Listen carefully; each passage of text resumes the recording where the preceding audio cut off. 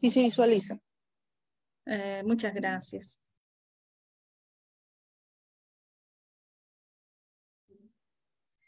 Bien, eh, colegas, el tema que el día de hoy vamos a tocar es un tema que todavía no es muy conocido dentro de nuestro ambiente laboral. vamos a hablar sobre lo que es la gestión de eventos adversos y este, cómo, cómo es que esto está relacionado con la seguridad de nuestros pacientes. Eh,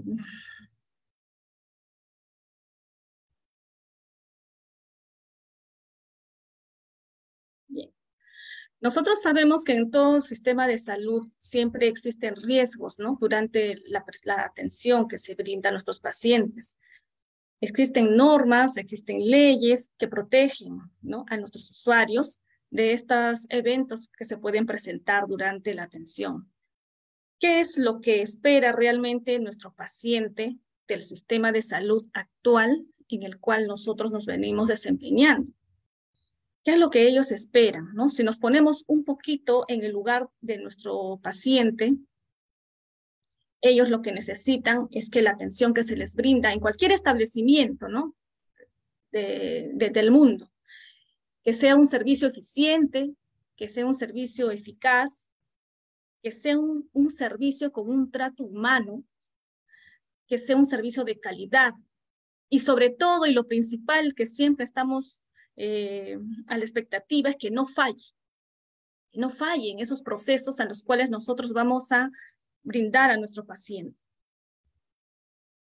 Que no sucedan estas cosas, que no sucedan estos eventos que no están, eh, eh, no están programados dentro de la atención que vamos a brindar, ¿no? Que se nos escapan a veces de nuestras manos, que no hemos de repente diseñado las, las barreras necesarias para evitar estas situaciones.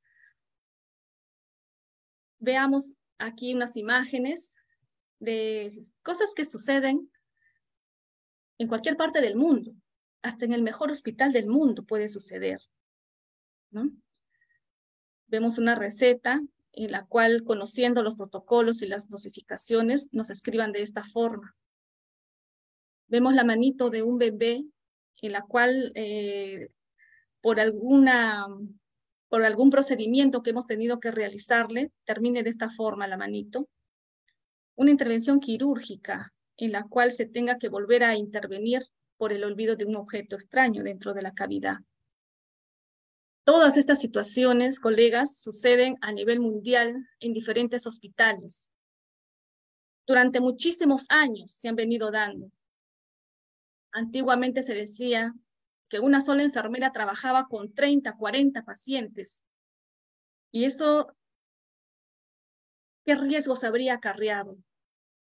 ¿Cuántos eventos adversos se habrían producido? No podríamos especificarlo porque no se ha medido. Actualmente, una sola enfermera para 40 pacientes es muy insuficiente. Inclusive las normativas todavía no se han actualizado para poder eh, requerir el personal adecuado de acuerdo a las de acuerdo a las actividades, a las funciones cada vez más complejas que venimos realizando. Entonces también hay tarea ahí que hacer. Bien, es, entonces, eh, al estar expuestos los pacientes a estos riesgos, ¿qué acciones se están tomando a nivel mundial? Nosotros tenemos la Alianza Mundial en pro de la seguridad del paciente, ¿no? Esta alianza que la lanza la Organización Mundial de la Salud lo anunció en el año 2004. Miren, recién en el año 2004, ¿no? Frente a la problemática que se venía viviendo a nivel mundial, se tenía que hacer algo. Entonces, la puesta en marcha de esta alianza mundial para la seguridad del paciente en respuesta a una necesidad global de mejorar la seguridad en la atención sanitaria, se dio esto, ¿no? Nuestra, la alianza. Debido a que los fallos de seguridad del paciente constituyen un grave problema de salud pública a nivel mundial, colegas. En los países desarrollados, según estimaciones, nos dice que nada menos que uno de cada diez pacientes sufren algún tipo de daño al recibir la atención hospitalaria. Mire esto, en países desarrollados. Y en algunos países en desarrollo, el riesgo de infección asociado a la atención sanitaria es hasta 20 veces mayor que en los países desarrollados. Tanto así de esta preocupación que también todos los años, el 17 de septiembre, se celebra el Día Mundial de la Seguridad del Paciente. ¿No? Cada año con un tema diferente. El año pasado se trató del tema sobre la seguridad en la medicación. El año anterior se habló sobre el tema de la seguridad materna.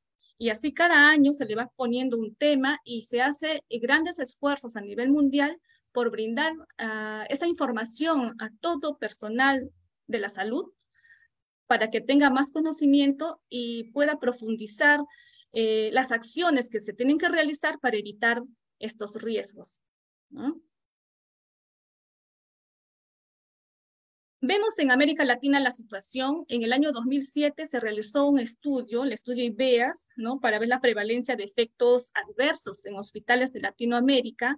Algunos países que eh, participaron en este estudio, eh, los vemos aquí, y que eh, dieron como resultado lo siguiente.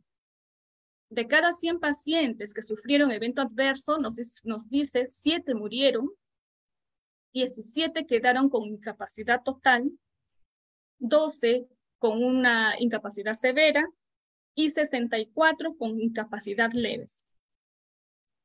Y el 60% de todos estos adversos, de todos estos eventos adversos, fueron evitables. Quiere decir que colocando ciertas barreras o cumpliendo los protocolos establecidos, se pudieron evitar todos estos eventos adversos. Bien. ¿Cuál es la situación de Perú en ese estudio? De acuerdo a los tipos de eventos adversos, ¿no? Eh, una comparación de los porcentajes que resultaron en Perú eh, y, con los porcentajes a nivel global. En Perú, cinco hospitales fueron los que participaron en este estudio. El Hospital 2 de Mayo, el Hospital Cayetano Heredia, el Hospital Santa Rosa, el Hospital Grau y el Hospital Rebagliati. Como primera causa de, de estos eventos adversos estuvieron relacionados con las infecciones nosocomiales. Luego le sigue los relacionados con un procedimiento, con cualquiera de los procedimientos, relacionados con el diagnóstico, eh, generalmente en errores del diagnóstico, relacionados con la medicación en cualquiera de las, de, la, de, de las fases de la medicación, relacionados con los cuidados y otros catalogados como otros eventos adversos y otros pendientes de especificar. ¿no? Entonces vemos cuáles han sido las primeras tres causas, las infecciones nosocomiales, eh, los relacionados con procedimientos, los relacionados con diagnósticos, y le siguen los otros, ¿no? En nuestro país existen ya normativas que, que nos eh, indican que debemos de brindar seguridad durante nuestra atención. El brindar calidad de atención implica también brindar seguridad. ¿No? Aquí tenemos, por ejemplo, eh, este decreto supremo, el número 013 del 2006, que aprueba el reglamento de establecimientos de salud y servicios médicos de apoyo, en el cual nos dice en su título cuarto, ¿no? Eh, en el artículo 96, de la evaluación de la calidad de la atención de salud. Nos dice bien claramente, ¿ah? Nos dice que a fin de dar cumplimiento a lo dispuesto en el artículo 9 del presente reglamento, los establecimientos de salud y servicios médicos de apoyo deben evaluar continuamente la calidad de la atención de salud que brindan, ¿no? Con el fin de identificar y corregir las deficiencias que afectan el proceso de atención y que eventualmente generan riesgos o eventos adversos en la salud de los usuarios. Esto quiere decir que cualquier establecimiento que va a brindar atención a nuestros usuarios, ya sea un laboratorio particular, ya sea un establecimiento donde vamos a atender pacientes, un consultorio dental, un consultorio eh, médico, los hospitales con mayor razón, tienen que eventualmente evaluar la calidad de atención que están brindando dentro de su establecimiento para poder identificar cuáles son esas debilidades y tomar las acciones oportunamente para evitar que sucedan riesgos y eventos adversos a nuestros pacientes, porque nuestros pacientes ya están expuestos a las complicaciones propias que tiene su propia enfermedad y al ir a un establecimiento en busca de soluciones de, esos, de esa enfermedad que ellos tienen, todavía encima se tengan que exponer a los riesgos que implica o que hay a veces eh, en la atención sanitaria que se le brinda, ¿no? Estos eventos, estas complicaciones que pueden ser evitables. ¿no? Tenemos aquí nosotros los seis objetivos internacionales planteados por la Organización Mundial de la Salud que todos debemos de conocer y practicar en nuestro establecimiento. No solo personal de enfermería, sino todos los profesionales de salud, médicos y no médicos, deben de conocer, ¿no?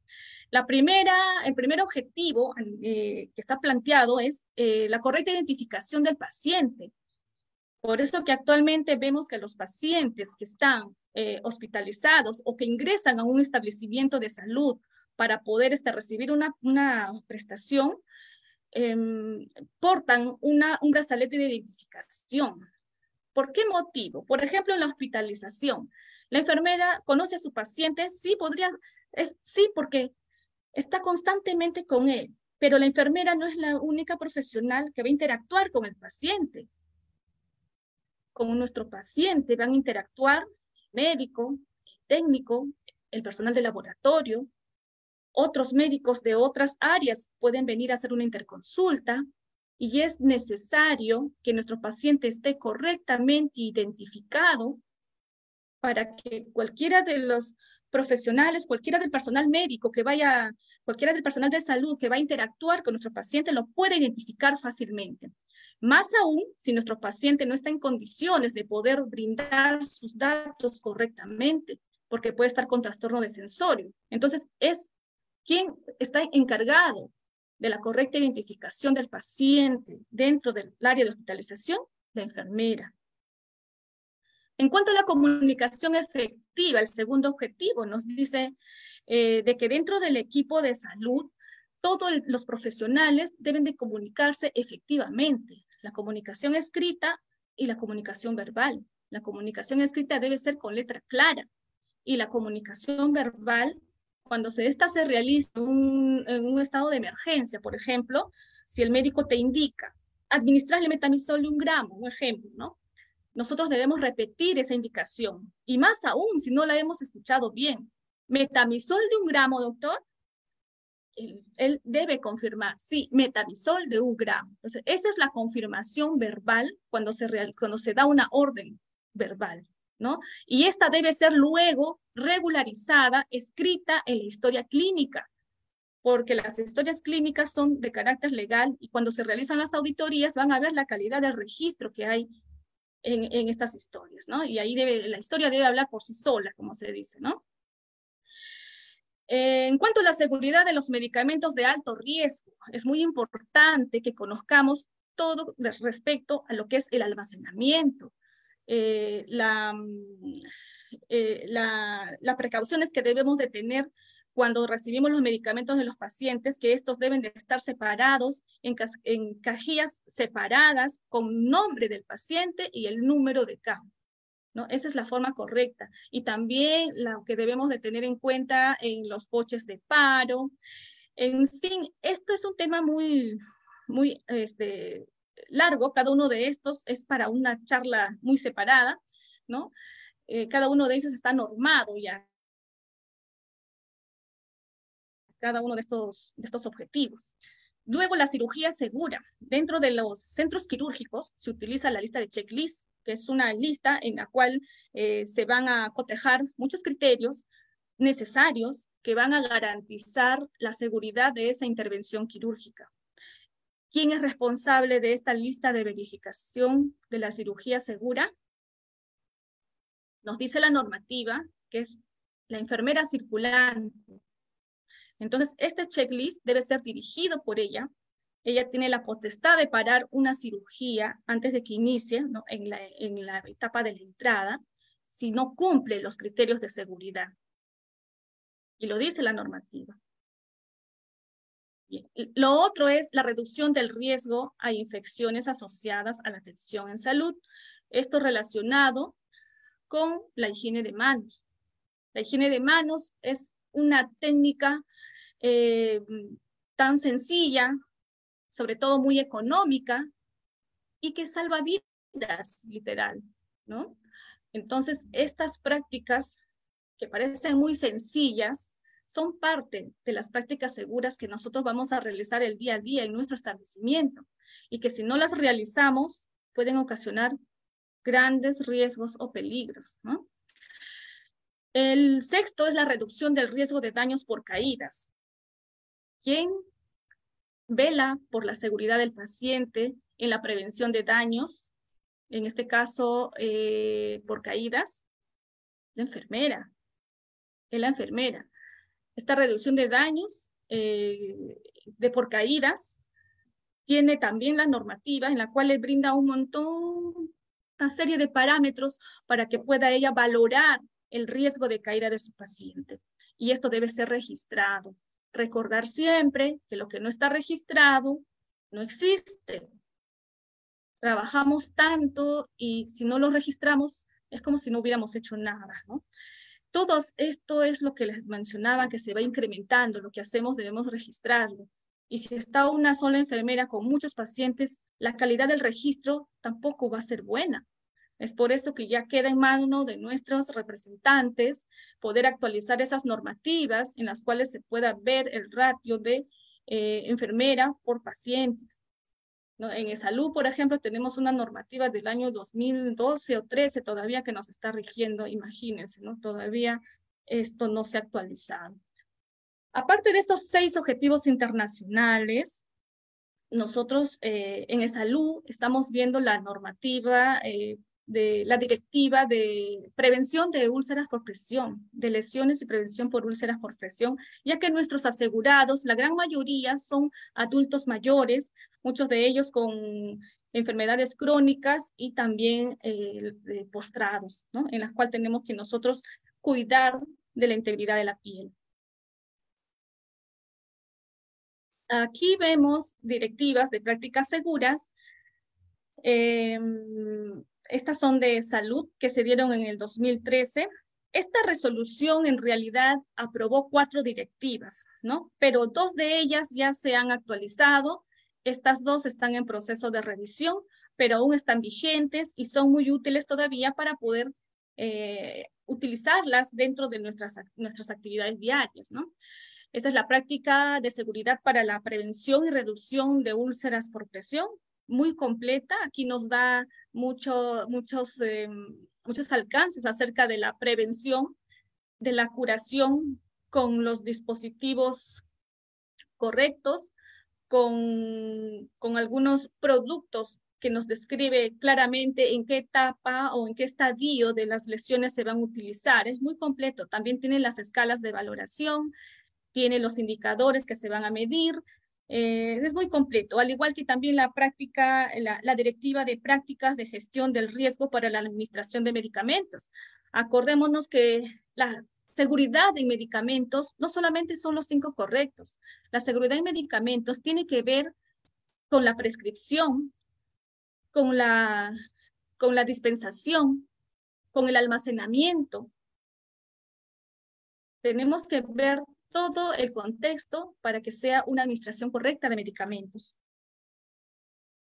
Las otras eh, normativas eh, que se actualizaron, ¿no? que se desprendieron de la resolución anterior, son las prácticas seguras en la identificación correcta del usuario. Tenemos la otra eh, que es de la para prevención de caídas, prácticas seguras para la prevención de caídas debemos de conocer, colegas, todas estas normas, porque esa es, es la, es, eh, son las herramientas que nosotros como profesionales del cuidado debemos brindar. Nuestros cuidados cada vez también se han ido, eh, han ido avanzando en lo científico, en lo tecnológico, y tenemos nosotros que ir cada, a la vanguardia de, esta, de estos avances. Acá tenemos la lista de verificación de cirugía segura, que es del MINSA, y también tenemos la lista de verificación de salud. Es salud, eh, eh, el ente normativo de salud es el Ministerio de Salud. Del Ministerio de Salud se desprenden todas las normas y es salud las va adoptando, ¿no? Eh, también en salud puede diseñar sus directivas, ¿no? También enmarcadas a las leyes de MINSA, ¿no? Las leyes y las normas de MINSA. En, en la, ¿qué es la, guía de implementación del proceso de higiene de manos, tenemos acá también al lado izquierdo, en la parte inferior, la que es del, de MINSA, y en la parte inferior del lado derecho tenemos la última normativa de salud. Anterior a ella había otra, otra normativa de higiene de manos, en la cual se enfocaba bastante en lo que son las estrategias multimodal de la Organización Mundial de la Salud para poder implementar em, la higiene de manos adecuada. En esta otra última directiva nos está enfocando más acerca de lo que se detectó en la anterior, ¿no? Porque ¿qué detectábamos en lo anterior? Que los establecimientos de salud em, no garantizaban al 100% la infraestructura para que el personal de salud hiciera una adecuada higiene de manos. Faltaba siempre el papel, en algunos establecimientos faltaba de repente el jabón, y eso es a nivel de MINSA y de salud, ¿no? Creo que en todos los establecimientos de salud eh, que es de MINSA y de Salud, eh, sucedía esto.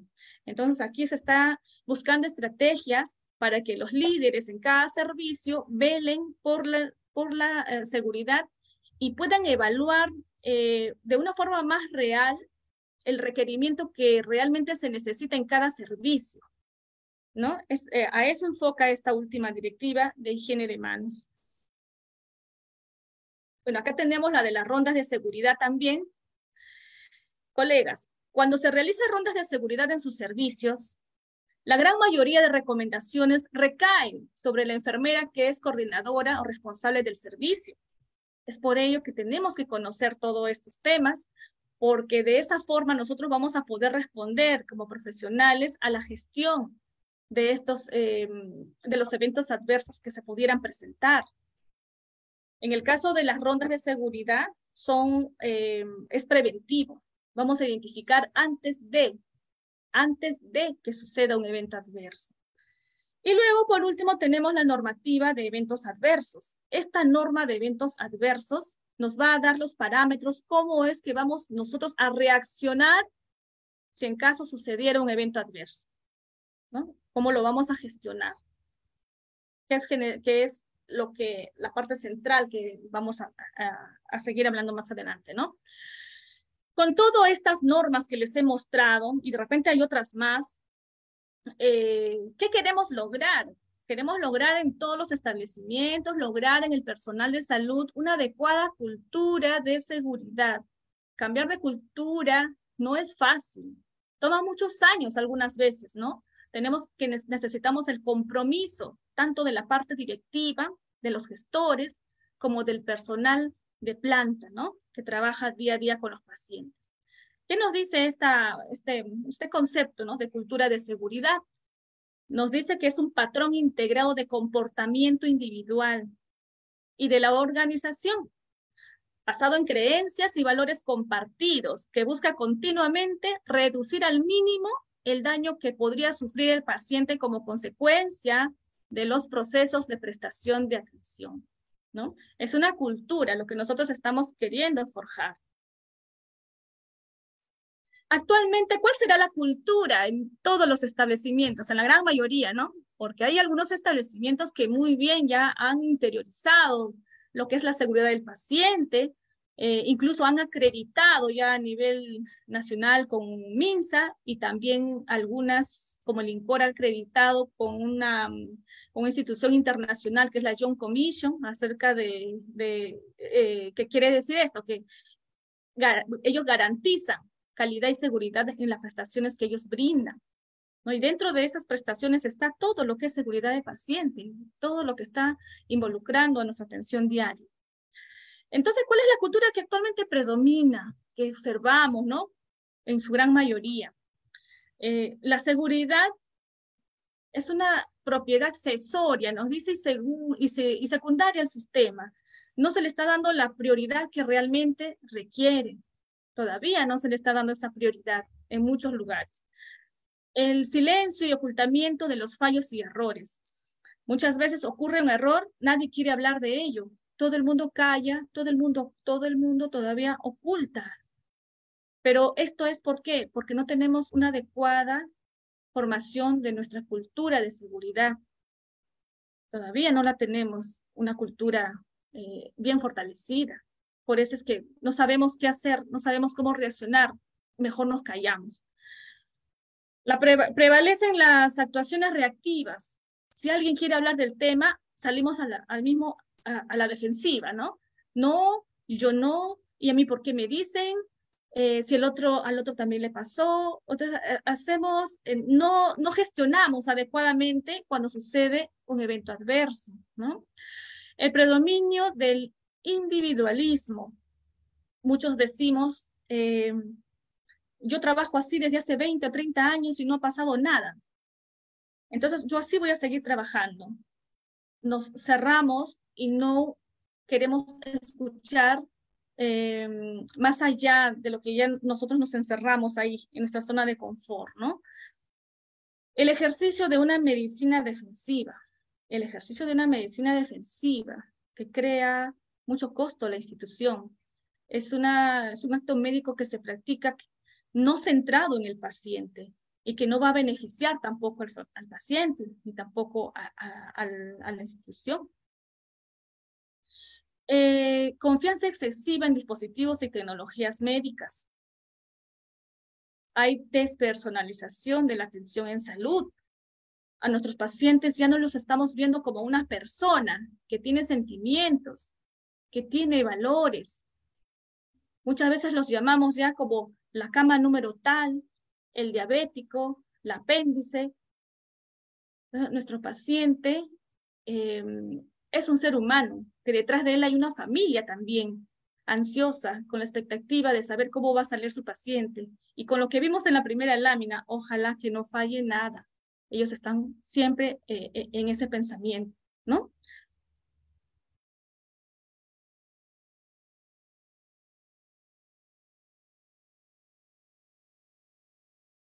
¿Y cuál es la, la, cultura que necesitamos formar? ¿Cuál es esa cultura a la cual nosotros queremos llegar? La seguridad es un componente esencial de la calidad asistencial. Que eso sea predominante que exista un sistema de gestión de riesgo asistencial, que sea una conducta proactiva, que cuando suceda un evento adverso, lo que tengamos que buscar no sean culpables, sino soluciones. Que haya un clima de lealtad, comunicación abierta y confianza entre los gestores, los profesionales de la atención y los pacientes. Que el trabajo sea en equipo, que tengamos estandarización de ciertos procesos, que no que cada uno trabaje como, le, como crea conveniente. No, que se estandarice, que se estandarice la atención. Atención tiene que, la atención que se, que se brinda tiene que ser centrada en el paciente. Toda la prestación de salud que nosotros queremos brindar en un establecimiento tiene que ser centrada en el paciente, el paciente al centro, pensando siempre en lo que le va a beneficiar al paciente, ¿no? La comunicación debe ser transparente, debe primar el respeto, la participación en la toma de decisiones. También participa el paciente en estos aspectos. Cuando hacemos, por ejemplo, una encuesta de cultura de, una, encuesta de, de satisfacción del usuario, con esas encuestas, con esos resultados, nos ayudan a tomar decisiones para cada vez brindar un mejor servicio. Y bien, en los establecimientos, eh, ya en la gran mayoría, existen áreas de calidad, existen las áreas de calidad. Eh, hay, hacemos gestión de riesgo proactivo y hacemos gestión de riesgo eh, reactivo.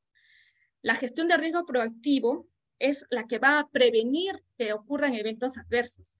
Mirar, identificar esas, esas em, debilidades que existen en cada servicio para poder corregirlas oportunamente y evitar que suceda un evento adverso o disminuir el riesgo de que se presente ese evento adverso. ¿No? La gestión proactiva, la gestión del riesgo proactiva es, por ejemplo, las rondas de seguridad.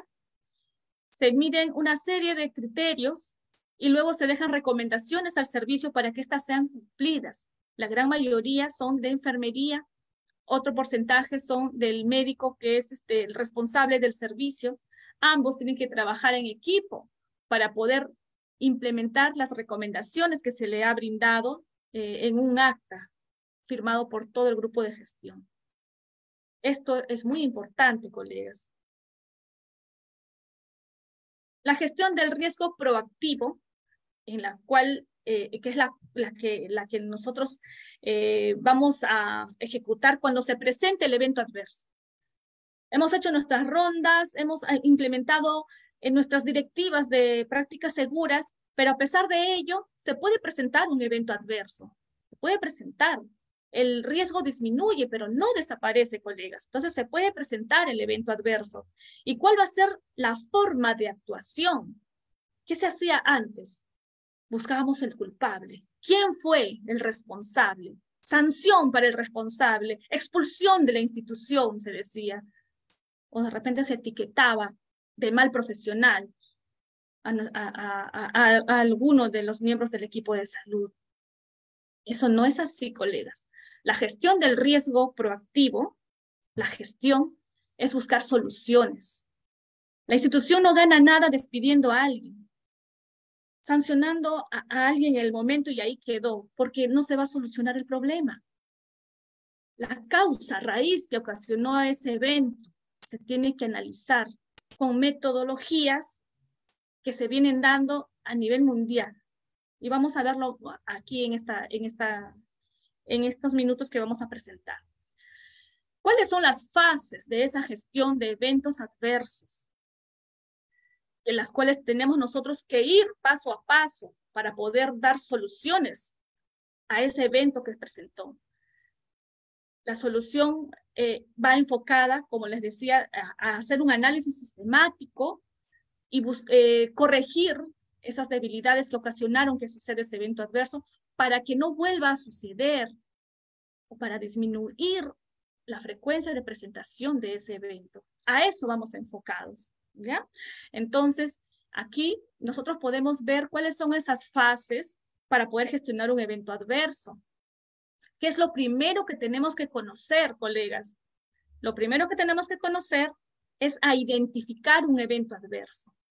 Si nosotros sabemos identificar un evento adverso, ¿qué tipo de evento es ese el que, el que yo tengo que prestarle atención para que se gestione? Primero tengo que saber identificar cuál es, no confundirlo con otro tipo de complicaciones. Luego tengo que saber cómo lo registro, a dónde lo tengo que enviar, cuál es el mecanismo para que la institución o los gestores sepan lo que ha sucedido y, e investiguen la causa raíz, ¿Cuál es ese mecanismo de registrar y notificar? Y cuando ya esté notificado, tengo que conocer cómo lo van a analizar, cómo se analiza ese evento, cómo voy a plantear las acciones de mejora para que se pueda eh, buscar las soluciones y cada vez brindar más seguridad en la prestación que brindamos en nuestro establecimiento. Y finalmente, hay que medir esos indicadores, a ver qué tanto impacto ha tenido estas acciones que se han implementado.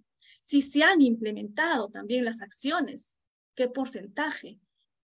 Acuérdense, colegas, que si queremos mejorar, tenemos que medir. Aquello que no se puede medir, no se puede mejorar. Entonces es muy importante los indicadores. Aquí vamos a desarrollar uno por uno eh, he tratado de hacerlo eh, lo más sucinto porque esto es muy amplio, es muy amplio. nos podría llevar muchísimas horas, ¿no? Vamos a tratar de hacerlo lo más resumido posible. A ver, para identificar el evento adverso, ¿qué tenemos que conocer? Tenemos que saber que es todo daño o un resultado negativo en el paciente que surge como consecuencia del manejo asistencial y no de su condición clínica.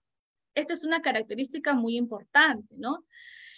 Eh, que este evento ha surgido por el proceso de atención de salud que se le ha brindado, mas no es una complicación de su propia enfermedad. No es del curso natural de su enfermedad, sino es una, es, es una situación que se ha presentado adicional a ello, ¿no? Por algo que falló en el proceso. Algún paso nos pasamos o nos saltamos o obviamos y se ocasionó el evento adverso a esos eventos que se pudieron prevenir, a esos eventos es a los cuales nosotros nos vamos a prestar atención para poder gestionarlo. Tres características son los que no pueden faltar para poder catalogar este evento adverso eh, que vamos a notificar. Uno, que ha causado el daño al paciente o que fue potencialmente, eh, que podría causar el daño al paciente. Es un evento involuntario, porque nadie sale de su casa diciendo, hoy día voy a hacer dos eventos adversos, eh, en la tarde voy a hacer tres eventos adversos. Nadie sale a trabajar con ese pensamiento. Todos salimos a trabajar queriendo dar lo mejor de uno, querer brindarle lo mejor a nuestro paciente. Con esa idea salimos a trabajar y a, y a prestar atención a nuestros pacientes. Pero surgen muchos factores que hace que se presente el evento adverso. Por eso decimos es involuntario. ¿Qué, otro, ¿Qué otra característica tiene este evento adverso? Es producto del proceso de atención. Lo que les acababa de mencionar, ¿no? Una falla en el sistema, una falla en el proceso. Y sumado los tres, produce el evento adverso. Son tres características que tiene este evento, este, estos eventos que vamos a hacer. Muy bien, entonces, este evento adverso tenemos que diferenciarlo también de otros conceptos, colegas. Tenemos que tener bien claro estos conceptos. Aquí vemos la complicación, que nos referimos a esa complicación que no se puede evitar por más que le hayamos aplicado todo el protocolo correctamente, que le hayamos brindado, brindado la mejor atención a nuestro paciente, el desenlace es fatal, no se pudo evitar pero como institución se le brindó todo lo que está protocolizado y todos eh, los recursos que pudiéramos tener a la mano. Pero de repente el enlace fue fatal, como les decía, y no se pudo evitar. Es por el mismo proceso de la enfermedad del paciente, por eh, el mismo diagnóstico que ha tenido. Entonces, esa es una complicación que no se puede evitar. Entonces, a esas complicaciones no las vamos a notificar en lo que es gestión de eventos adversos. ¿ya? ¿Qué nos dice acá que es ese tipo de complicación? El daño es el daño o resultado clínico no esperado, no atribuible a la atención en salud, sino a la enfermedad o a las condiciones propias del paciente, ¿ya? Esa es una complicación no prevenible, no se puede prevenir. ¿El incidente qué es? Es una falla durante la presentación del servicio de salud que no alcanza a causar daño al paciente es, por ejemplo, eh, si yo recibo una receta, ¿no? De, con los medicamentos, en la cual me dice clorfenamina y yo recibo la ampolla, a la hora de aplicar mis cinco correctos, veo que la ampolla dice adrenalina, ¿no? Yo apliqué mi barrera de seguridad, que son los cinco correctos que tengo que, eh, eh, antes de administrar el medicamento. Entonces, identifiqué la falla. ¿Qué hago? Tengo que solucionar. realizamos el cambio en farmacia, me entrega el, el medicamento que indica la receta y administro al paciente el medicamento correcto. Eso fue un casi, ¿no? Un cuasi evento, nos dicen, ¿no? Entonces, si yo no me hubiera dado cuenta o no hubiera aplicado mi barrera de los cinco correctos, yo le administraba la adrenalina al paciente y quién sabe qué hubiera ocasionado en su organismo en ese momento, aparte de la taquicardia. Puede haber sido hasta alérgico, no sabemos no sabemos. Entonces, o puede ser un paciente que sufre de arritmias o problemas cardíacos y encima una adrenalina, bueno, imagínense todo lo que puede haber sucedido, ¿no? Entonces, pero no sucede porque lo detecté antes de, entonces estamos frente a un incidente. ¿Eso lo reporto? Sí lo reporto. Y es, si yo reporto esos incidentes, entonces nosotros vamos a estar alertas a que eso está sucediendo y tenemos que ir a buscar a la causa raíz. Vamos a farmacia, ¿qué está sucediendo en farmacia? ¿Por qué se están reportando muchos, eh, de repente, errores en la dispensación del medicamento, de repente el personal es insuficiente, de repente este, cómo estarán las, las formas de almacenamiento, o sea, algún, algo tenemos que encontrar para corregir, ¿no? Y no, sea, no cause de repente en algún momento un daño más grande en el paciente o más grave. El evento adverso ya lo hemos visto, que es un daño no intencional, ¿no? Que, que, que daña ya al paciente, llega al paciente, ¿no? El evento centinela, este es un tipo de evento adverso muy grave que puede causar la muerte en el paciente o una discapacidad que le queda para toda la vida. ¿ya? Entonces, esas son las diferencias. Una complicación eh, que, que no se puede evitar, un incidente, un evento adverso, un evento centinela. Aquí para quedar un poquito más claro, un ejemplo, en un paciente que recibe un tratamiento.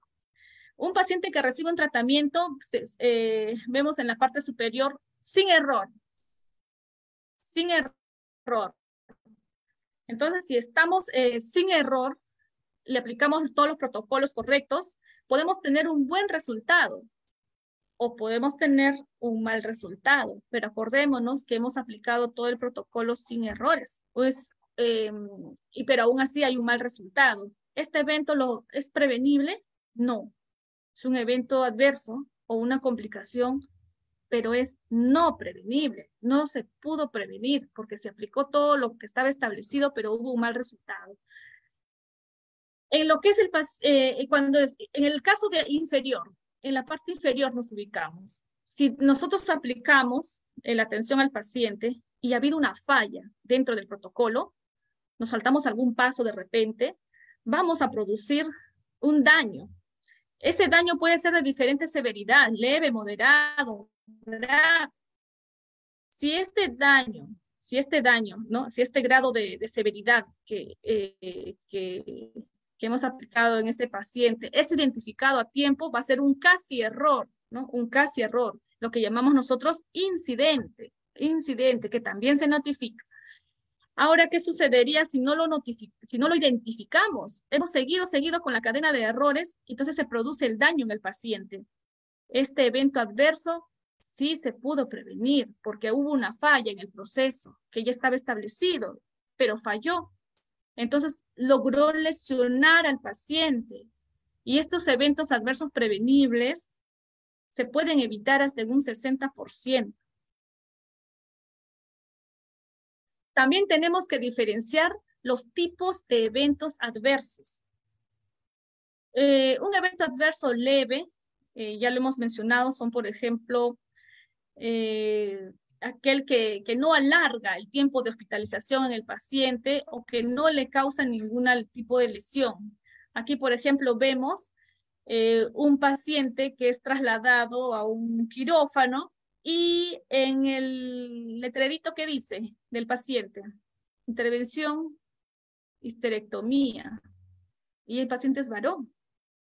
Que hubo ahí un error de identificación, pero si lo detectas oportunamente, corregimos esto, ¿no? Y supongamos que ese paciente en lugar de varón hubiera sido una mujer, y si es una mujer que no da datos correctos y que se va a operar de otra cosa, pero el letrero dice histerectomía. Entonces, así pueden ocurrir, pero si esto se, se detecta y se corrige, solamente eh, podría quedar un evento leve, en un evento, eh, perdón, un, un, incidente, en un evento leve puede ser si en caso le hubieran ah, eh, puesto anestesia, ¿no? Entonces, pero eso es recuperable rápidamente y no se prolonga el tiempo de hospitalización, ¿no? Vamos valorando según la intensidad. Un daño moderado ya aquí va a, haber, eh, va a requerir por lo menos un día más de hospitalización a más, un día a más de hospitalización si un paciente presenta alguna lesión dentro del hospital por alguna, alguna falla, ¿no? Una caída de paciente, eh, podría ser también este, una reacción alérgica a un medicamento que estando notificado que el paciente es alérgico, se le administra. Por ejemplo, si reporta, soy alérgico a la penicilina y recibe una penicilina, eh, quizás no se rotuló en, los identificadores de riesgo, ¿no? Y se aplicó la penicilina estando o, registrado en algún lado, de repente no muy claro, que era un alérgico a la penicilina, ¿no? Eh, en un evento grave, como decíamos, eh, aquí por ejemplo podríamos ver eh, un cuerpo extraño en una cavidad que va a requerir intervención quirúrgica y por supuesto unos días más de hospitalización. Y el evento centinela lo, lo, llamamos así porque esto va a producir la muerte o un daño físico permanente que le queda de por vida al paciente. ¿no? Un evento centinela eh, ya nos alerta a nosotros de que aquí hay graves, graves eh, peligros de seguridad del paciente. ¿no? Y también para poder identificar y conocer bien sobre los eventos adversos debemos de saber cuál es la frecuencia de presentación. Esta pirámide es muy conocida. Eh, muchas veces hemos escuchado que, que a los incidentes, no, eso no se notifica, no es un incidente, no pasó nada. Colegas, es lo que más se notifica. Los incidentes es lo que más debemos notificar. ¿Por qué? Porque debemos prevenir que se conviertan en eventos adversos graves o centinelas. Tenemos que actuar desde el inicio, desde temprano. Si nosotros vemos muy frecuente la equivocación de medicamentos en farmacia, si nosotros vemos muy frecuente que se están infectando las heridas, si estamos viendo muy frecuente que el paciente se, se está, ah, eh, o, las camas, las barandas de las camas, están teniendo riesgo de, de que se desarman fácilmente o no son seguras eh, en, para brindar esas, esa, esa protección al paciente, tenemos que notificarlo. Es allí donde vamos a, tempranamente a poder actuar, antes de que se presenten las lesiones en los pacientes.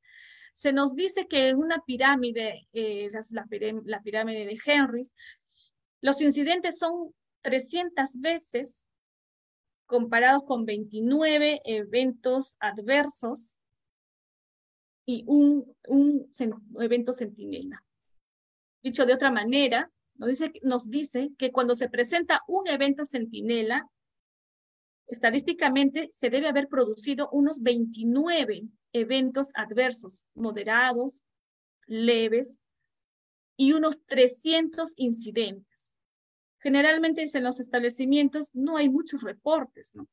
Ah, se están, ya se ha iniciado, sí, ¿no? No ya se ha iniciado, pero tenemos que reportar más para poder sincerar cuál es la realidad de nuestro hospital.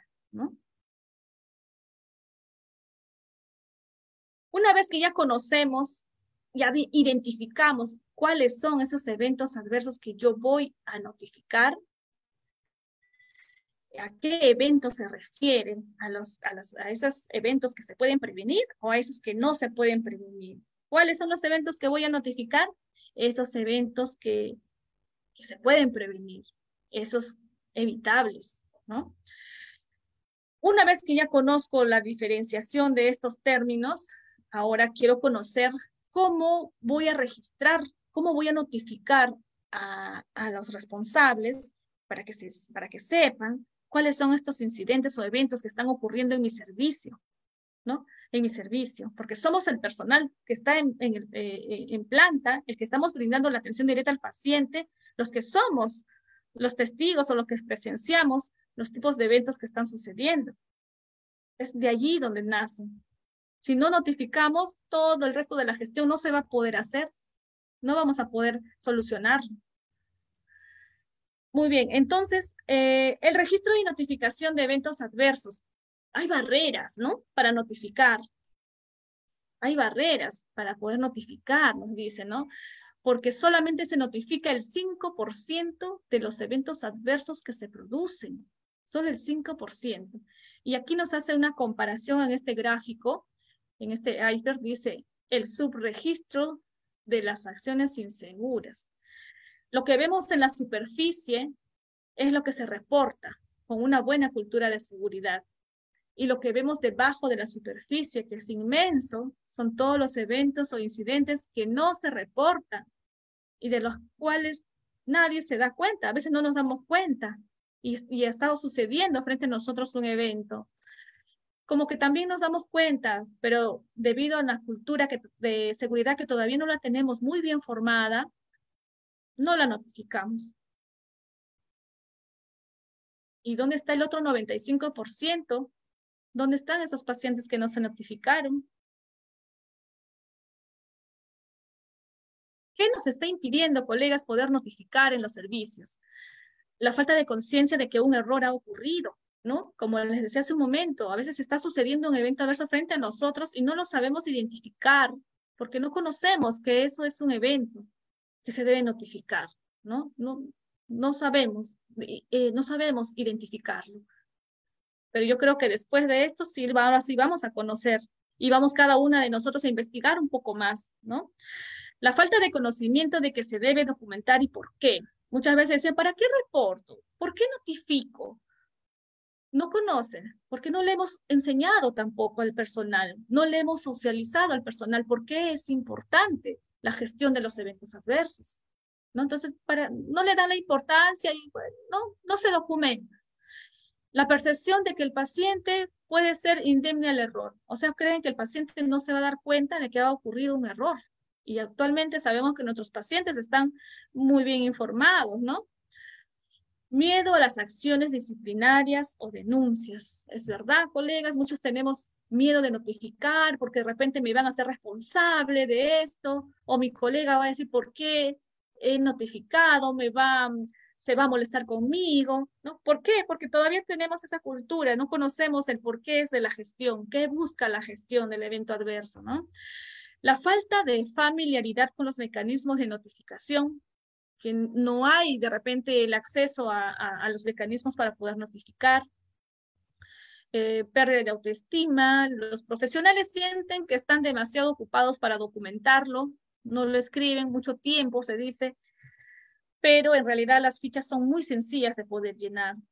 Eh, la falta de feedback cuando se produce una notificación. O sea, cuando se notifica, eh, queremos saber qué pasó con mi notificación, qué hicieron con mi notificación, eh, cuál habrá sido el resultado, qué soluciones irán a ver. Entonces, tenemos que eh, devolver esa información al personal para que conozcan de qué manera se ha solucionado o qué acciones se han tomado frente a ese evento que sucedió. Eso quiere saber el personal un sistema ideal, ¿cómo sería? Para darle confianza al personal, para que notifiquen. ¿Qué es, características debe tener un sistema para que el personal se anime a notificar? Primero, capacitarlos, ¿no? Capacitarlos, enseñarles por qué, por qué la importancia, qué es lo que se quiere lograr.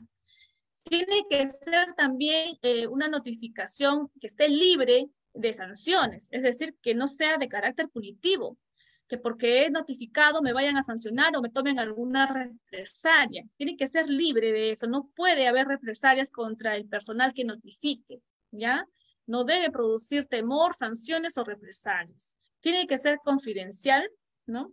El paciente o sea el informador que, que ha de realizar la, la, la notificación no tiene que firmar ni colocar su nombre en las fichas de notificación tiene que ser dependiente de las autoridades que sí son un ente sancionador.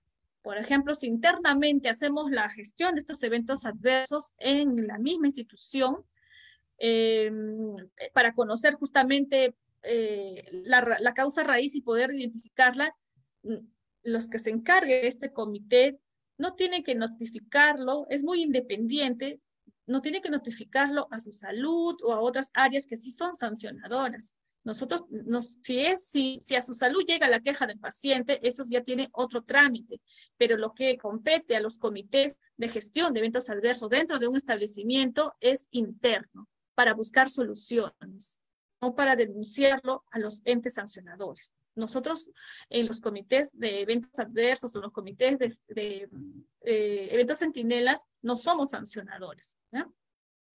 El análisis por expertos tienen que estar el personal entrenado, esa óptica tener eh, para poder este, identificar la, la, causa raíz, siempre sin buscar culpables, sino con un enfoque sistémico.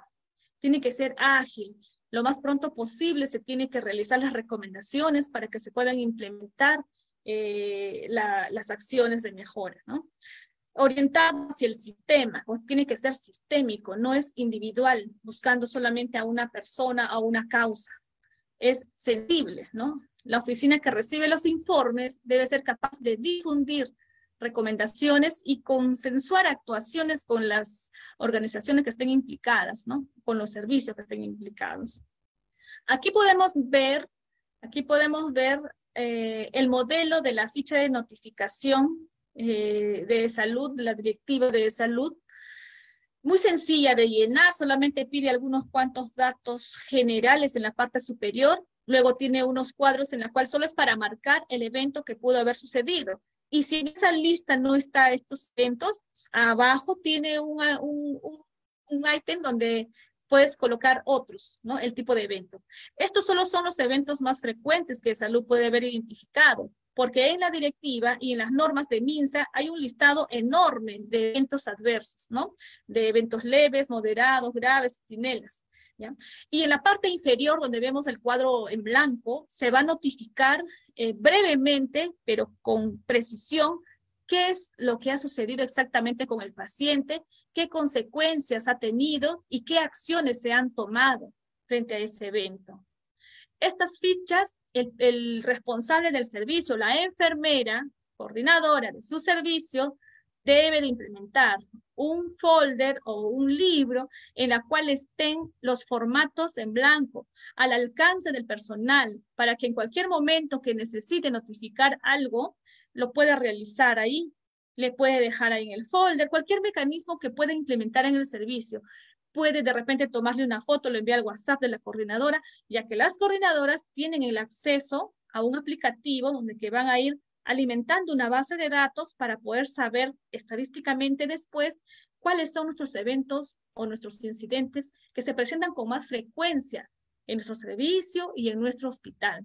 ¿Para qué? Para poder tomar las decisiones de, que sean oportunas, que no demore mucho, ¿no? No esperar a que suceda un evento centinela.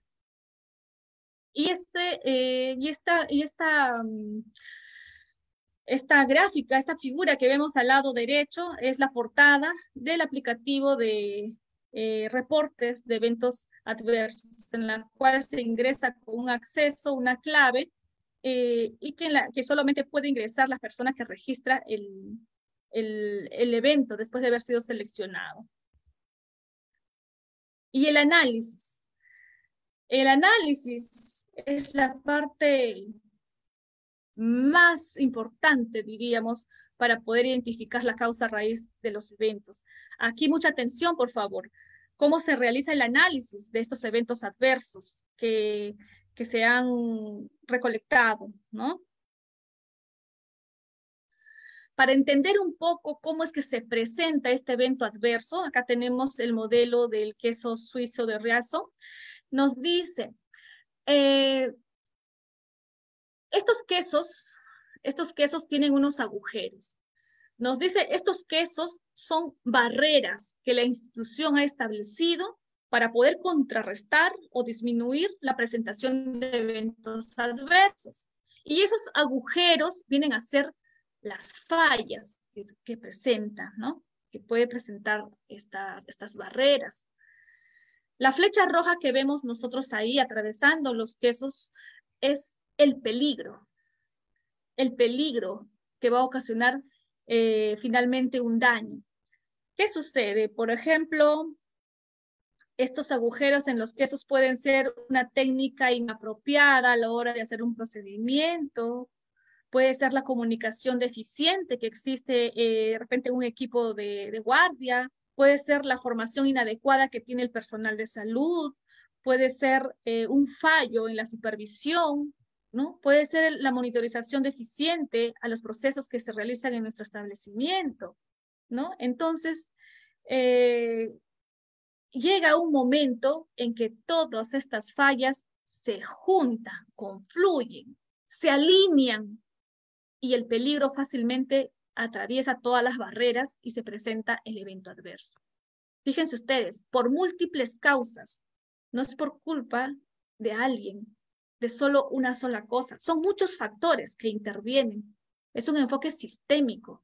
Por eso le decía, cuando sucede un evento adverso, uno no puede inmediatamente decir, ay, ay, su culpa del doctor, su culpa de la enfermera o su culpa de, de alguien. No es así, señores. Para cuando ocurre un evento adverso, se tiene que hacer un proceso de investigación para poder determinar las causas. No se juzga en dos minutos, ¿ya? El modelo, también aquí vemos el modelo del protocolo de Londres. ¿Cuál es esa secuencia que debemos de, de, nosotros seguir para poder hacer la investigación de un evento adverso? Primero, eh, vamos a identificar, eh, vamos a identificar la decisión de querer investigar, sobre todo aquellos eventos más relevantes, ¿no? Si son centinelas, es obligatorio la investigación. Seleccionamos el equipo investigador. Eh, el equipo tiene que estar capacitado en lo que es este, la gestión de eventos adversos, en lo que es la investigación, el uso de herramientas para poder realizar este análisis. Luego vamos a obtener y organizar la información, ya sea de la, de la historia clínica, en primer lugar, entrevistas al personal que estuvo eh, involucrado, presenció ese evento, las, los protocolos, las guías, los roles del personal, hay que hacer visitas a la infraestructura, ¿no? el lugar de trabajo donde ocurrió el evento, si fuera posible, eh, eh, la entrevista al paciente. ¿ya? Toda esa información se organiza. ¿ya? Luego se va a establecer la cronología del incidente. Esto es, eh, se realiza una línea de tiempo qué pasó el día 1, qué pasó el día 2, qué pasó el día 3, con la finalidad de identificar dónde falló el proceso, dónde, dónde falló el proceso de atención. ¿no? Eh, hay que identificar las acciones inseguras ¿no? en, ese, en, esa, en esa cronología. Luego vamos a identificar los factores contributivos, esos nueve factores que pueden haber influido para que suceda el evento adverso. Y finalmente, damos las recomendaciones y el plan de acción. ¿no? Ese es el modelo del protocolo de Londres para realizar una investigación de incidentes o de eventos adversos. Aquí vemos que este, ese protocolo ¿no? se basa, eh, este, este protocolo se basa en el modelo organizacional de accidentes de James Ransom. Aquí vemos este modelo de organizacional de causalidad de errores y eventos adversos. Eh, vamos a empezar de la parte superior izquierda. Nos dice eh, organización y cultura, las decisiones gerenciales y organizacionales. Aquí pudiera haber algunos diseños que muchas veces no se aplican en la realidad, en algunas normativas que muchas veces no son funcionales en la realidad. Son esas fallas latentes que existen ahí, que en cualquier momento puede influir también en que ocurra un evento adverso. Tenemos los factores contributivos. En la parte superior amarilla vemos en el segundo, eh, eh, la segunda columna, casi dice factores contributivos.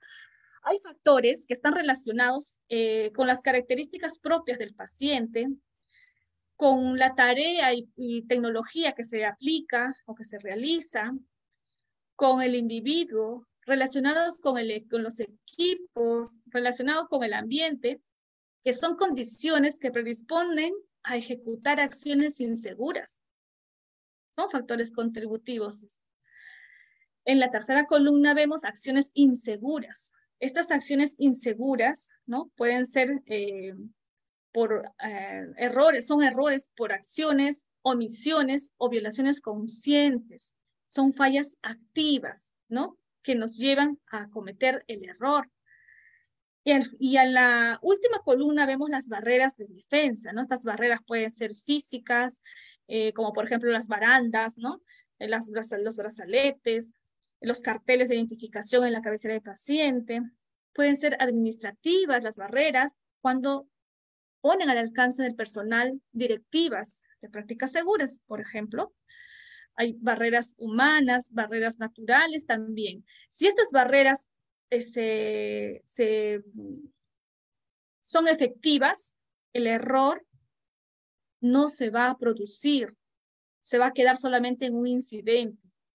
Pero si estas barreras no son efectivas, se va a dar el evento adverso. ¿Ven? el error vence todas las barreras y se produce el evento adverso, Es la forma como se dan los eventos adversos. No se da por una sola causa, es multicausal, es multifactorial. Muchos factores influyen. Esto es lo mismo que acabamos de explicar, esto también. Aquí quiero, estos son los factores, ¿no? Este es el diagrama de Chicago con el cual nosotros vamos a analizar los factores. ¿Cuáles factores? Decimos estos de acá. En la segunda columna dice factores contributivos. Cuando estamos en esa etapa, vamos a utilizar esta herramienta, esta de acá. El diagrama de Chicago. ¿no? Son nueve factores que cada uno de ellos se va a analizar en la cabeza del pescado, también se llama eh, la espina del pescado, este diagrama de Chicago. Vamos a poner la acción insegura y nos vamos a ir preguntando, ¿qué factores relacionados eh, con los factores ligados a la tarea pudieron haber, haber ocasionado que se presente esta acción insegura? Analizamos y vamos colocando ahí. Igual manera, con cada uno de ellos nos hacemos esa pregunta. ¿Qué factores individuales ocasionaron que se presente esta acción insegura? Colocamos ahí las respuestas. Y así vamos llenando cada uno de estas espinas. Es muy probable que de repente tres o cuatro factores hayan influido a, que se presente esta acción insegura. No necesariamente los nueve, pero tenemos que analizar los nueve, ¿no? Tenemos que analizar los nueve. De repente solamente dos factores influyeron. Entonces tenemos que identificar con esta herramienta. Acá una descripción de este análisis. Estos esto también es parte de un taller muy extenso, lo vamos a pasar rápidamente y ya les compartiremos eh, la presentación para que lo puedan leer más detenidamente. Este es el, esquema que se utiliza actualmente, ¿no? Eh, en la descripción de a qué se refiere cada uno de estos factores, ¿no? Con la hora que se va a analizar. Acá también tenemos una clasificación de los factores, a qué se refiere cada uno de ellos, ¿no? Por ejemplo, en pacientes, ¿no? Los factores de origen del, contributivos que están originados por factores del paciente, nos dice que tenemos que tener en cuenta complejidad de su gravedad, gravedad o severidad de sus condiciones clínicas, su forma de comunicación, etc. En tarea y tecnología, el diseño de la tarea se refiere a que se está protocolizado la atención que se está brindando al paciente.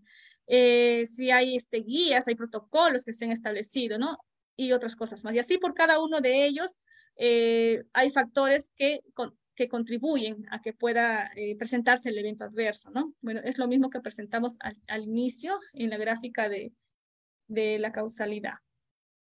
Muy bien, una vez que ya, ah, ya hemos analizado ese evento adverso con las herramientas que corresponde, entendiendo muy bien que ese evento adverso se ha originado eh, por múltiples causas, ahora pasamos a priorizar esos factores para poder plantear un plan de mejora.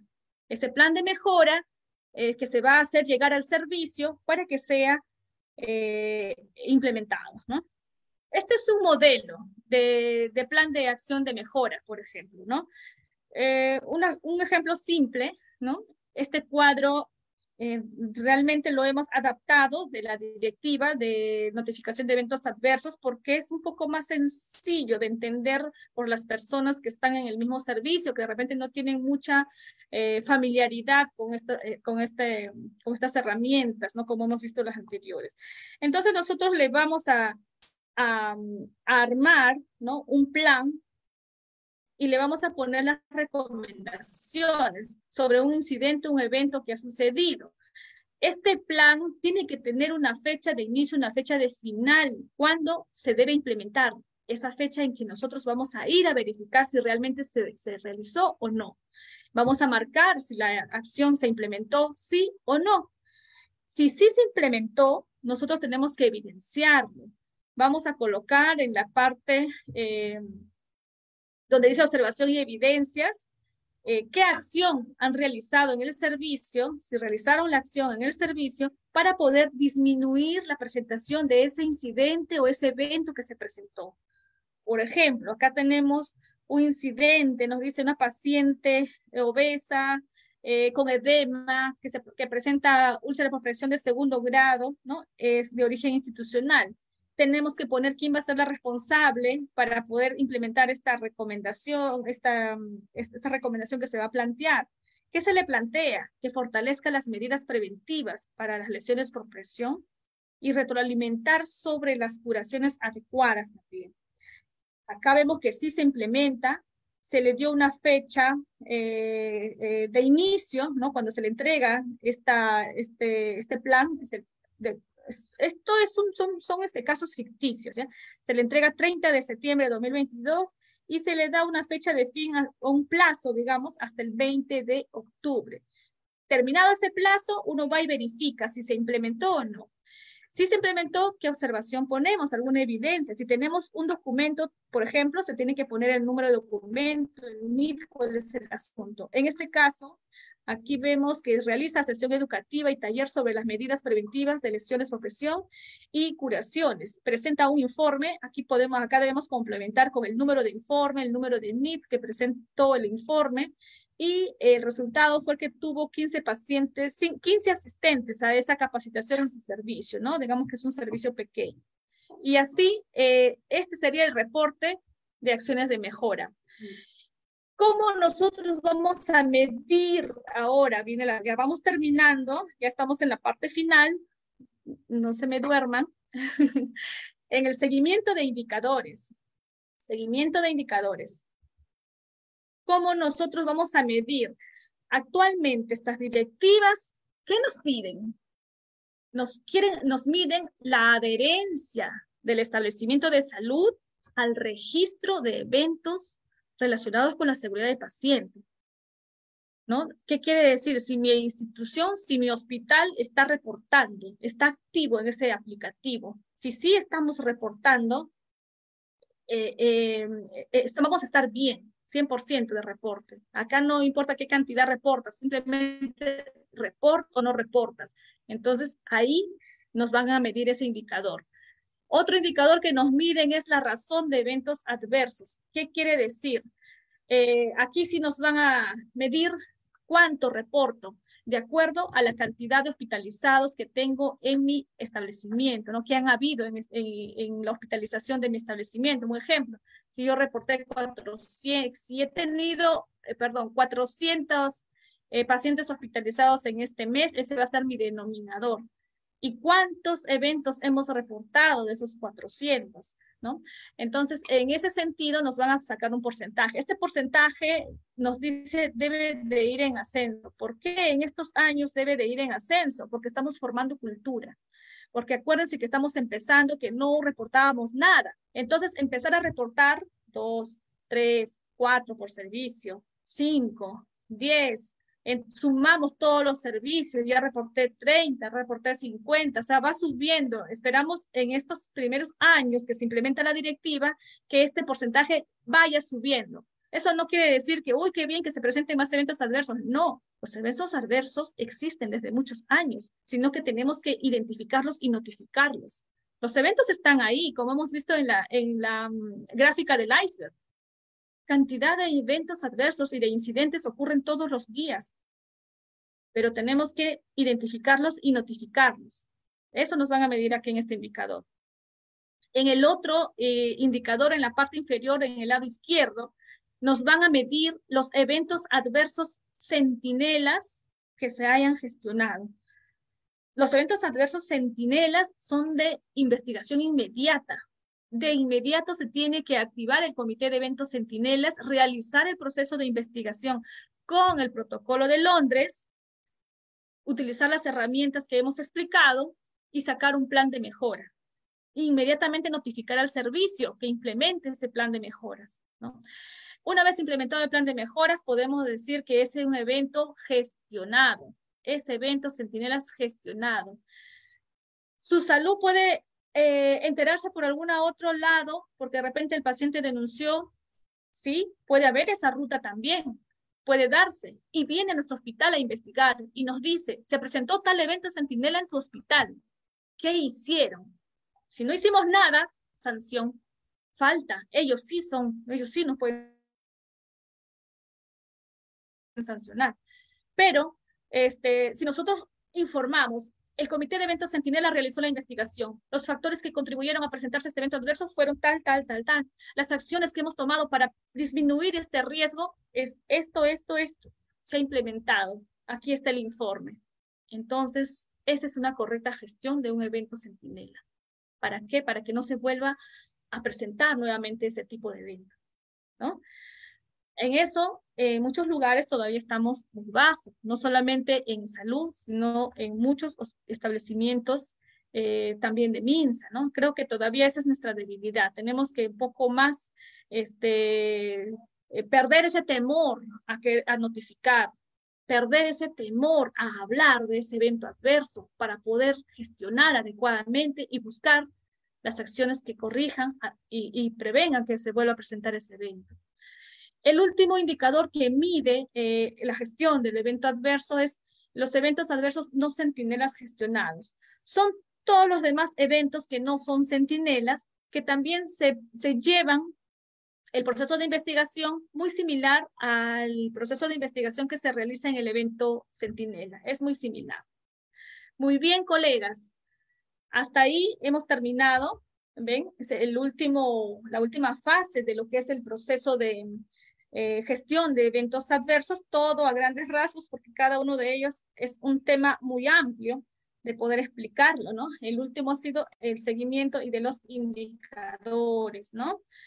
Eh, algunas sugerencias para evitar errores en, en, nuestro ambiente laboral, podríamos dar, ¿no? Algunas que dicen, eh, por ejemplo, evitar interrupciones frecuentes. Las interrupciones hacen que podamos también tener un alto riesgo de equivocación. Cuando preparamos medicamentos, estamos concentrados nosotros con la dosificación, estamos concentrados nosotros con la aplicación de nuestros cinco correctos.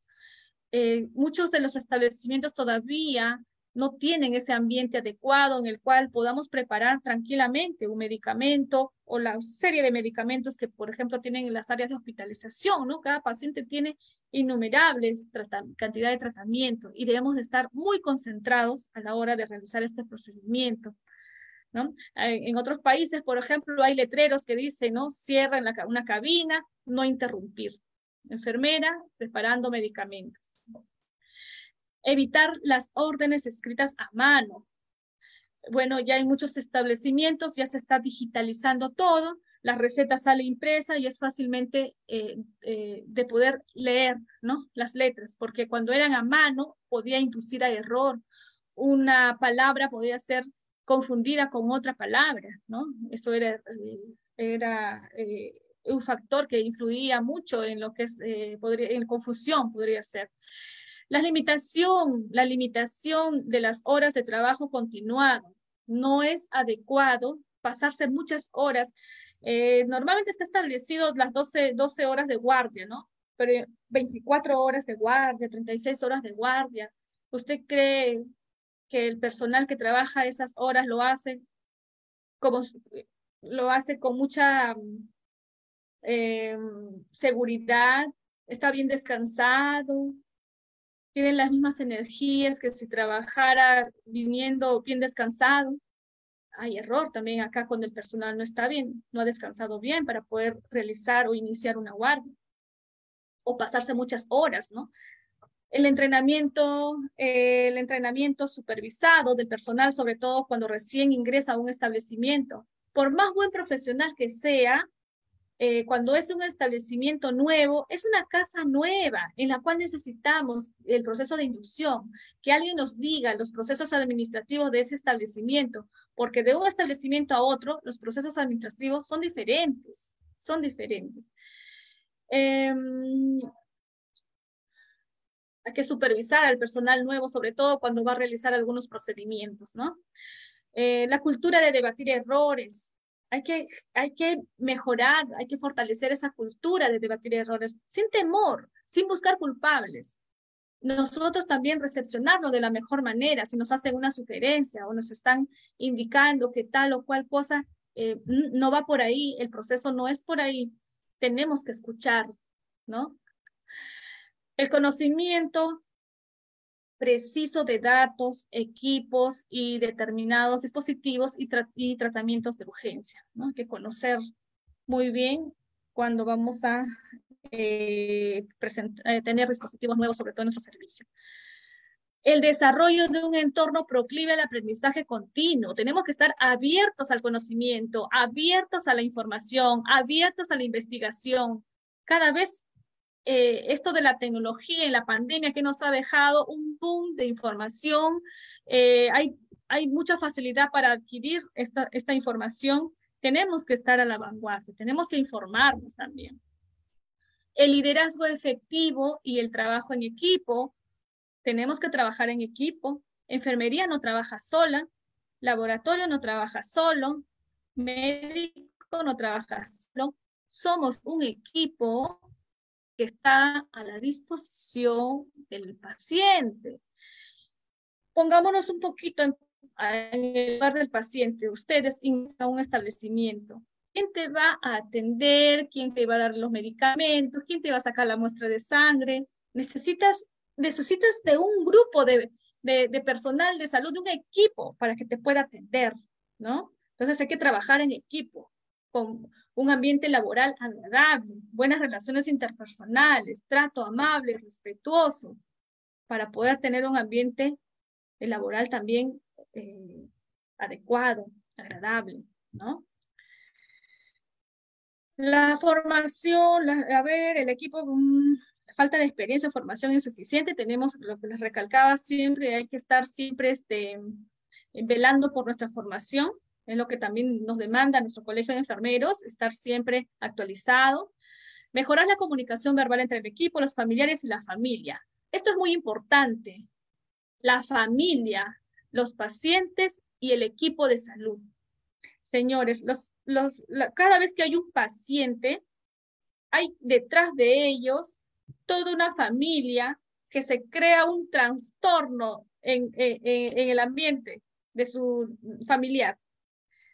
Todos están preocupados por ese, por ese miembro de su familia que está en un hospital con personas extrañas, que no sabemos eh, si lo están tratando bien, no sabemos eh, cuál va a ser el progreso de su enfermedad, no sabemos si algo puede fallar, no sabemos muchas veces nada cuando tampoco informamos adecuadamente a los familiares. Un familiar bien informado va a ser un familiar que va a disminuir la ansiedad, va a ser un familiar que inclusive va a colaborar con el cuidado de su paciente. Cuando vemos ese, el programa familiar acompañante, un familiar bien eh, orientado va a ayudar, va a contribuir en el proceso de recuperación de su paciente, de su familiar. Tenemos que entender eso, señores, y hablarle con eh, el informe con palabras claras. No debemos deshumanizar la atención. No podemos eh, tener una voz, una voz de mando, una voz eh, que da órdenes a familias que están de repente muy sensibles en el aspecto emocional por su familiar, inclusive el mismo paciente. Tener cuidado con nuestro tono de voz que usamos con nuestros familiares y con nuestros pacientes. El respeto, señores, no olvidar.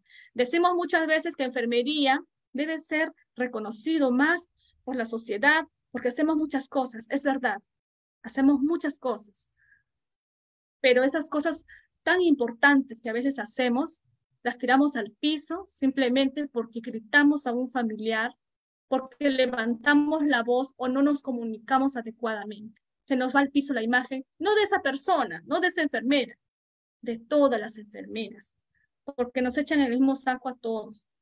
Entonces, las relaciones interpersonales e, entre el equipo de salud, entre el paciente y entre el familiar es clave, es clave, ¿no? Es clave. Cuidar los aspectos de confort en el ambiente de trabajo. La iluminación tiene que ser adecuada y si no es adecuada, hay que reportarlo para que eso se corrija. El control del ruido, no podemos estar trabajando en un ambiente con mucho ruido, ¿no? El orden y la limpieza es primordial el orden y la limpieza es primordial. Si no tenemos las cosas ordenadas, hay riesgo de confusión de objetos, de medicamentos, de historias, de todo. Si no hay una buena limpieza, estamos expuestos a enfermar em, eh, con alguna transmisión de, algún, de alguna enfermedad que tengamos por ahí. Por ejemplo, en el tiempo del COVID se reforzó mucho, mucho el tema de la limpieza y siempre debe ser así, no solamente en época de pandemia. Siempre la limpieza y el orden debe ser primordial. Bueno, colegas, em, terminando para decirles este mensaje, recordar este mensaje de nuestra querida Florencia Nightingale, que nos dice, la enfermería es un arte y si se pretende que sea un arte, requiere una devoción tan exclusiva, una preparación tan dura como el trabajo de un pintor o de un escultor. Pero, nos dice acá la gran pregunta, ¿cómo puede compararse la tela muerta o el frío mármol con el tener que trabajar sobre el cuerpo vivo? ¿No? El templo del Espíritu de Dios nos dice es, eh, enfermería en realidad es una de las bellas artes, casi diría la más bella de las bellas artes. Es lo que nos dice nuestra querida Florencia. Y un pequeño mensaje, ¿no? Que nos dice que las pequeñas acciones de cada persona encaminadas al mismo fin consiguen grandes cambios. Y eso es muy cierto. Pequeñas acciones que cada una de nosotras vamos haciendo generan grandes cambios. Y eso no lo duden, colegas. No dejen de hacer esas pequeñas acciones cada día durante el desarrollo de nuestro trabajo. Y bien, eh, sin más, nada más que decirles, yo les agradezco mucho por su atención. Eh, compartir esta información muy valiosa que todavía desconocemos mucho en, en, algunos de nuestros establecimientos. Hace algunos años atrás yo misma desconocía sobre esta información que tan importante es y que también debería ya de incluirse en la currícula de, los, de las universidades, en la formación del personal de salud. Es uno de los objetivos que ha planteado la Organización Mundial de la Salud que es la tendencia a que todos estos temas de seguridad del paciente, prácticas seguras, eh, se, se incluya en la currícula y se exija para poder este, ingresar a trabajar en cualquier establecimiento de salud que tengan la formación en estos, en estos temas. Por ejemplo, en Colombia ya tenemos y existe la especialidad en seguridad de paciente. En nuestro Perú todavía no vemos esta formación en pregrado, todavía no vemos tampoco la especialidad en estos temas. De repente, probablemente en un corto periodo de, tiempo ya se, se pueda ver ¿no? en las universidades. Ya, ya eh, debería de incluirse ya en las currículas de la formación de nuestras colegas de pregrado. Bueno, muchísimas gracias. No sé si hubiera alguna pregunta, colegas, gustosa de poder resolverlos. Muchísimas gracias, licenciada Melina, por su excelente disertación y realmente es de importancia de poder hacer los adecuados reportes. E indicar a los colegas que ya está en el chat el link de asistencia, es importante su registro. Tenemos acá en la intervención la licenciada Karina. Adelante, licenciada, escuchamos. Si quiere hacer alguna pregunta comentario, por favor.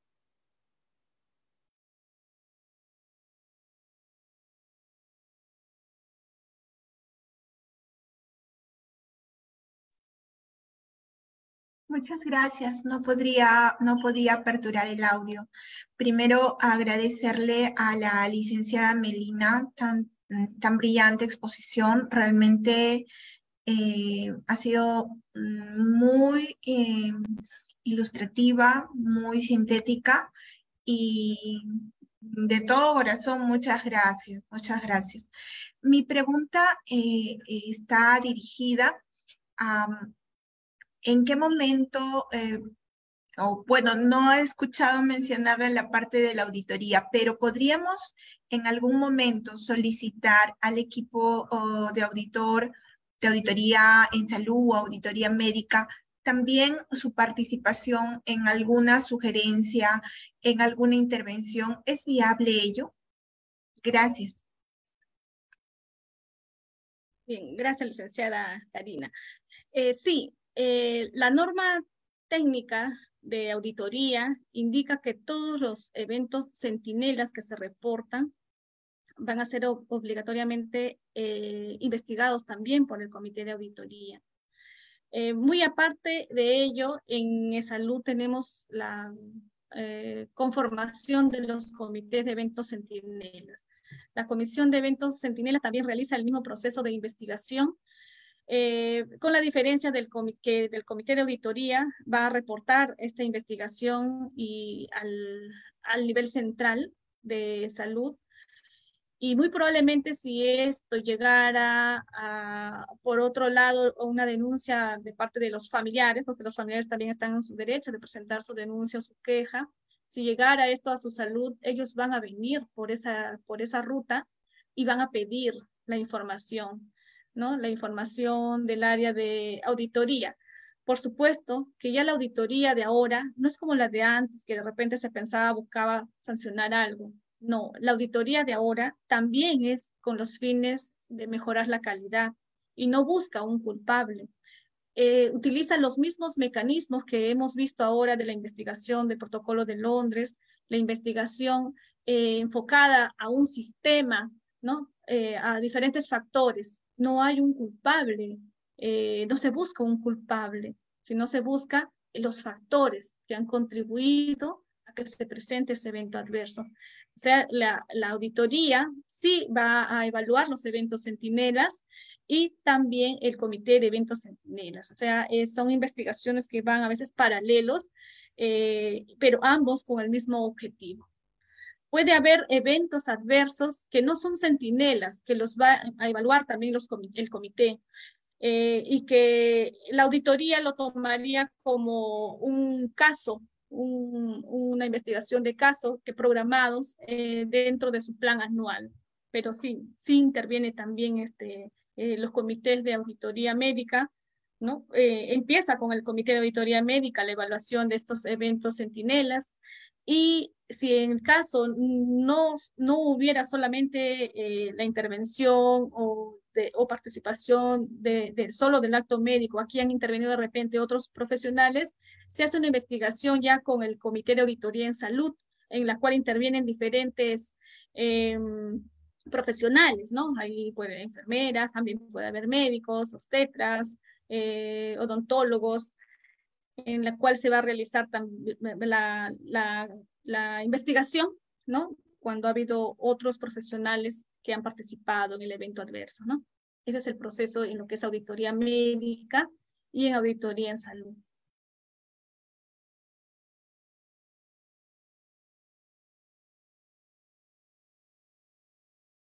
Si hubiera alguna pregunta o supe disipar su duda, licenciada Karina, o alguien más quisiera alguna, hacer alguna pregunta.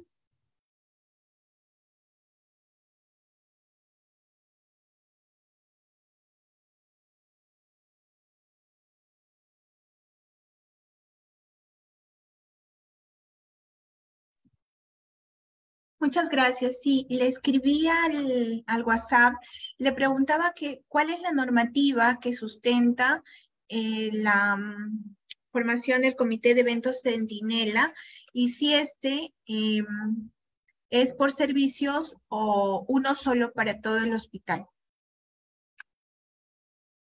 Ya, el Comité de Eventos Centinela em, dentro de lo que es la directiva de notificación de incidentes y eventos adversos, nos indica que el comité de eventos centinela debe ser conformado al inicio del año y es solamente un comité por todo el hospital, no, no es por servicios, por todo el hospital.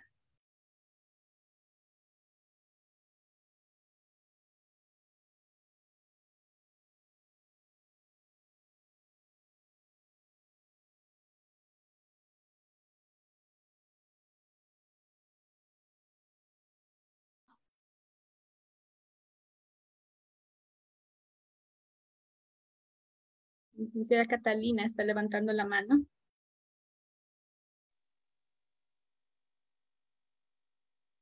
Sí, muy buenas noches. No sé si me escuchan.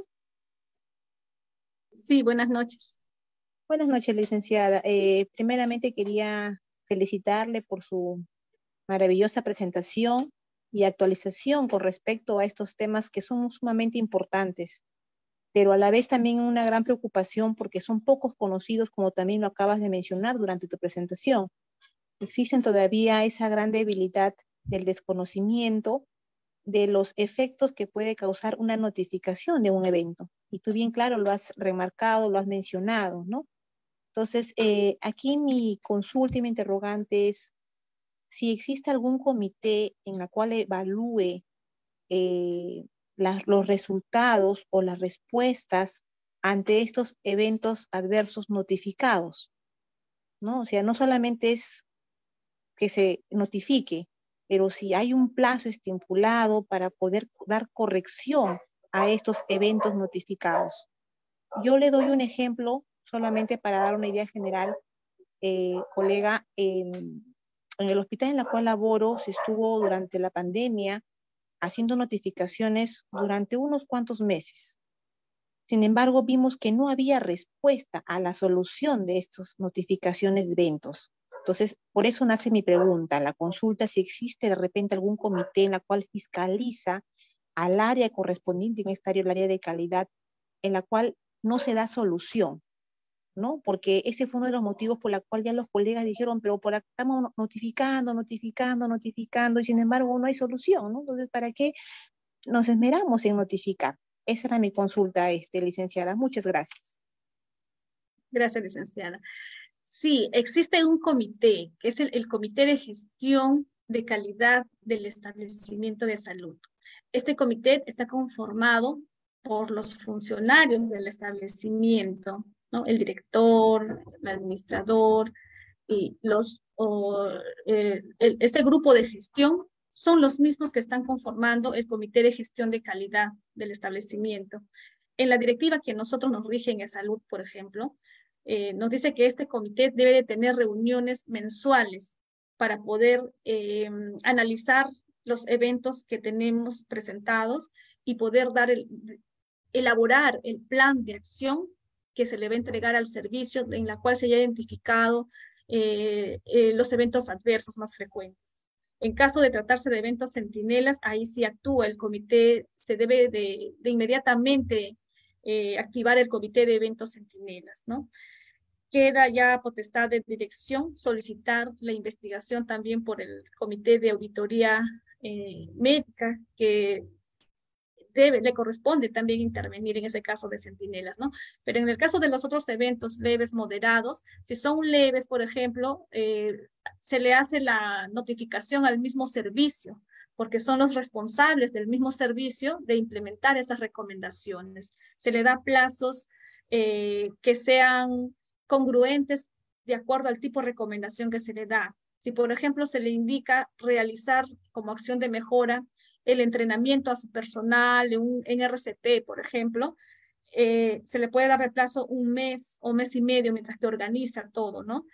Si en caso se le indica notificar al personal sobre el cumplimiento de la norma técnica número tal, eso no le va a llevar más de una semana. Entonces, de acuerdo a la recomendación que se le brinda, los responsables del servicio donde ocurrió el evento adverso deben que implementar estas recomendaciones. llega ese plazo, esa fecha en la cual vence, se le hace la visita. Ya, ¿Quién va a ir a hacer la monitorización? El responsable del área de calidad, porque él es miembro, el responsable del área de calidad es miembro del comité de gestión de calidad del hospital. Entonces, hace la verificación si cumplió o no cumplió. Si en caso también los responsables del servicio necesitan asesoramiento técnico, cómo es que van a implementar esa recomendación, también tienen que coordinar con el responsable de calidad, porque es el que presta el asesoramiento técnico para poder eh, implementar esas recomendaciones.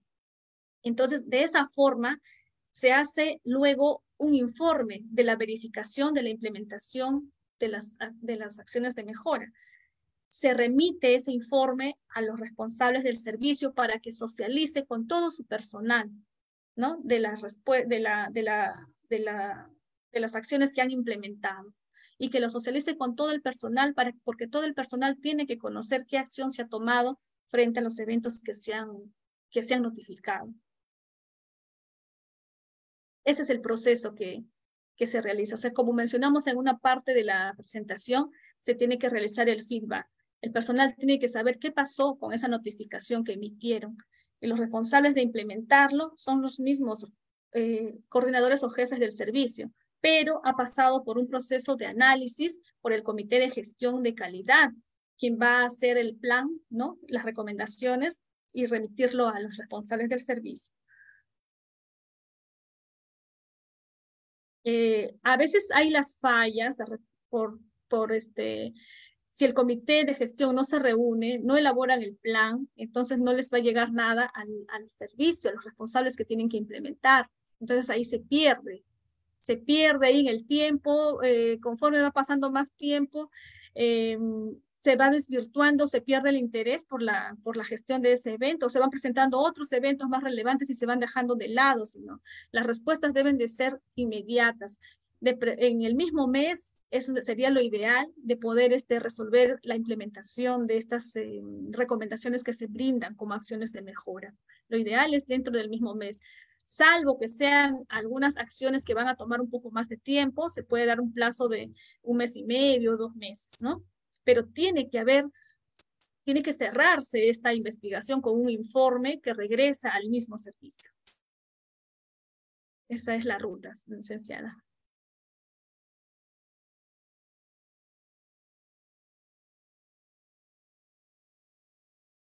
Si alguien más desea hacer alguna pregunta.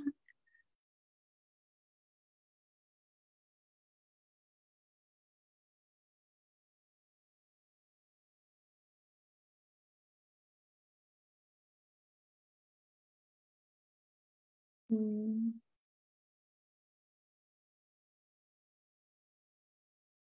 Bueno, licenciada Sujei, no sé si alguien más, no sé si en su chat le habrán preguntado algo.